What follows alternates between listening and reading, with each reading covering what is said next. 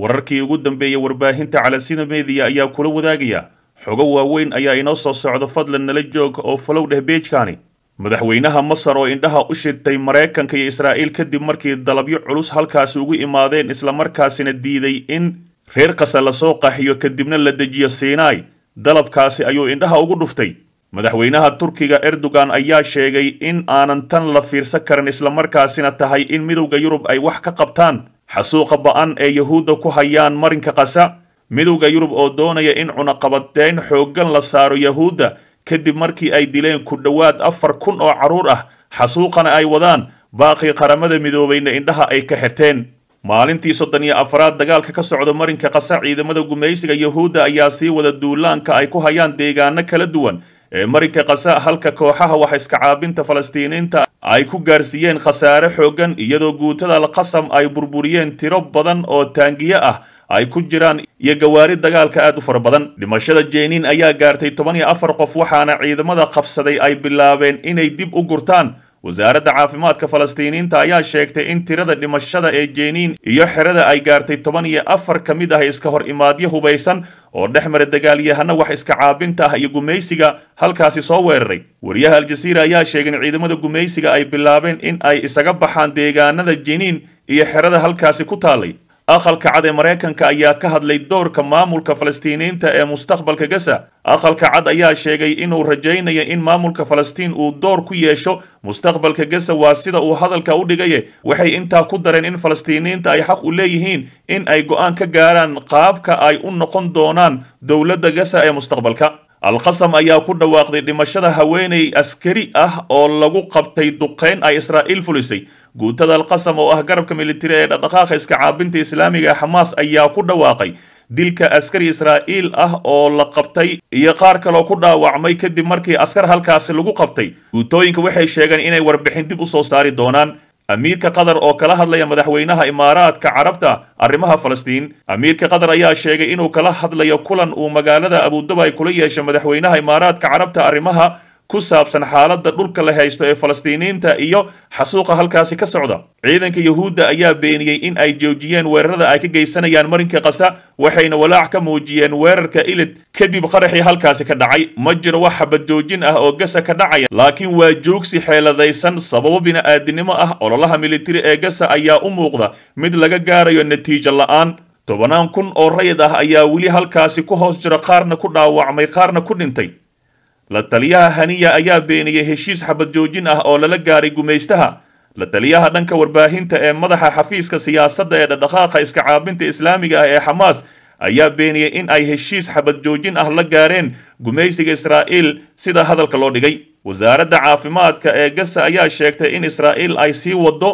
duqaymaha cirka ah ay ku beegsanaysa carruurta afhayeen u hadlay wasaaradda caafimaadka marinka kasa ayaa warbaahinta u sheegay dhaawacyo badan ayaa la dhigay isbitaalka induneisiya kadib markii hareerihiisa la beegsaday. Geysta kale xisbullah ayaa ku dhawaaqday in laba taangi la duqeeyey askarta yahuuddana halkaasi dhimasho iyo dhaawac ay ka soo gaartay. Ururka xisbullah ee dalka lubnaan ayaa ku dhawaaqay in ay duqeeyeen laba taangi oo ay leeyihiin ciidamada israa'iil ee markafa lagu magacaabo kaasi oo qiimihiisa lagu sheegay lix milyan oo dollar halkaas oo dhimasho iyo dhaawacba ay askarta yahuudda ku gaarsiiyeen wasiirka difaaca ee yahuudda uu soo saaray hanjabaad cusub oo ku wajahan ururka xisbullah xisbullah ayaa ku dhawaaqday bayaan ay soo saartay inay xaqiijisay in laba taangi oo nooca loo yaqaano meerkafa la duqeeyey shaqaalahoodiina lagu dilay ama lagu dhaawacay weerar ay dagaalyahanadooda halkaasi ka fuliyeen. Xisbullah ayaa bayaan hore ku sheegtay in dagaalyahanadooda ay gantaalo la beegsadeen deegaanka lagu magacaabo matula oo ay si toosa u garaaceen halkaasi oo si ay u taageeraan dadka reer falastiin ee gumaystaha halkaasi ku xasuuqaya. Dhanka warbaahinta aljasiira iyo warbaahinada kale ayaa sheegay in gantaal la hagayo lala beegsaday xerada rayma ee israa'iil oo ka soo horjeeda magaalada markaba ee ku taalla bartamaha koonfurta lubnaan iyagoo sidoo kale sheegay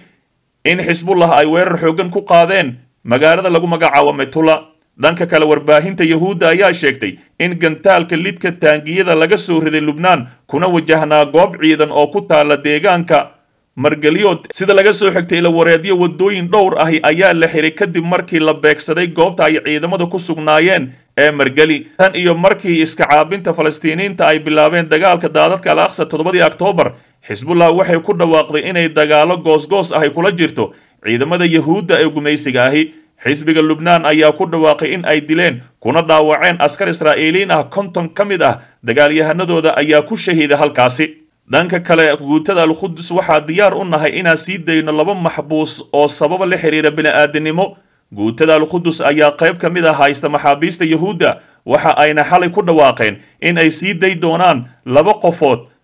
Arrimo bini'aadinimo awgeed fadlan dib u daaw wararkeenii hore ee calansida mediya abuu cubeyda waxaan diiwaan gelinay burburinta boqol soddon iyo lix baabuur oo ay leeyihiin ciidamada gumaysiga ee yahuudda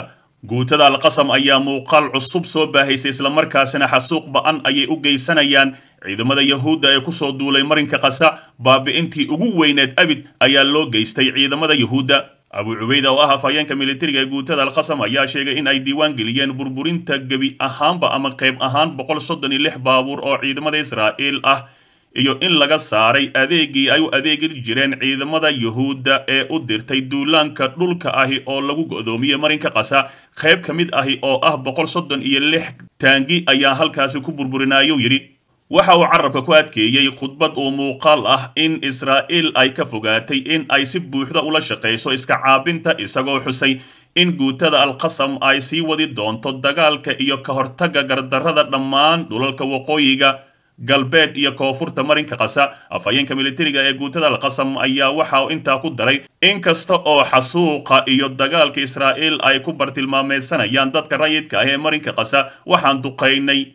ciidamada yahuudda waxaanu burburinay baabuurta dhimasho iyo dhaawac xooggan ayaan gaarsiinay. Halka hubka shiishka uu sii socdo bartilmaameedka ciidamada qabsaday ee gumaysiga ahi ayuu yidhi waanu ka shaqaysannay. Abuu cubeyda ayaa faahfaahin ka bixiyey dagaalka dhulka ah ee lagu soo qaaday marinka qasa waxa uu yidhi waxaan la dagaalamaynaa cadow ku soo duulay dhulkeenna islamarkaasina jilbaha ayaan dhulka uga dhufannay baabuur badan ayaan ka gubnay xasuuq xooggan ayaan u geysanay ayuu yidhi waxaa kale uu ka hadlay arrimaha maxaabiista isagoo carabka ku adkeeyey in cadowgu ay diidan yihiin in sharuudo lagu sii daayo maxaabiista islamarkaasina ay fashiliyaan qaabkii lagu sii dayn lahaa. Labiyo toban ka mid ahi maxaabiista isagoo xusay in yahuudda ay caqabad ku tahay dadaalada lagu sii daynayo maxaabiista iyo ajaaniibta islamarkaasina ay khatar gelinayso maxaabiista iminka hadda gacanta ku jiro ee nool afhayeenka alqasam waxa uu intaa ku daray waxaan ku celinaynaa in dariiqa keliya uu yahay heshiis dhammaystiran oo maxaabiista la isku weydaarsanayo. Gebi ahaanba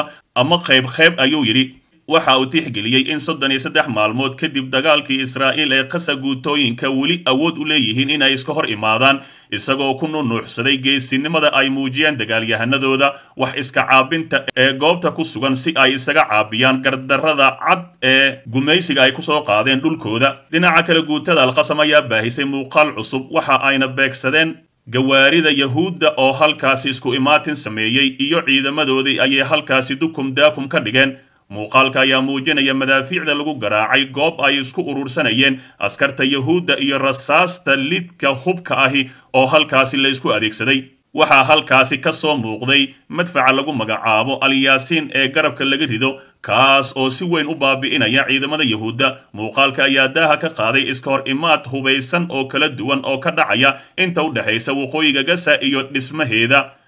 la burburiyey maalintii soddon iyo afaraad ayaa halkaasi weli lagu dagaalamayaa sidoo kale shalay galabtii alqasam ayaa ku dhawaaqday in ilaa saddex iyo toban taangi baabuurta israa'iil ah ku burburisay. Khasatan iyo subaxnimadii shalay ayagoo halkaasina guulo waaweyn ka sheegtay. Dhinaca kale mas'uul biljam u hadlay waxaa la joogaa ayuu yidhi wakhtigii cunaqabateen lagu soo rogi lahaa yahuudda. Ra'iisul wasaare ku-xigeenka biljam bedra ayaa sheegay in la joogo wakhtigii cunaqabataynta lagu soo rogi lahaa israa'iil sababo la xidhiira gardarrada joogtada ah ee ay ku hayso marinka qasa